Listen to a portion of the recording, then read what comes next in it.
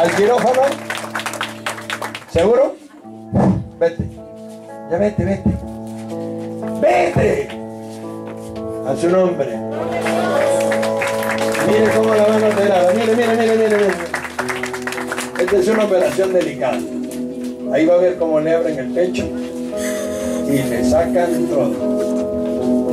Y ahí se va a asustar un poquito porque le van a hacer un poco de cosas. Y cuando termine queda nuevecita.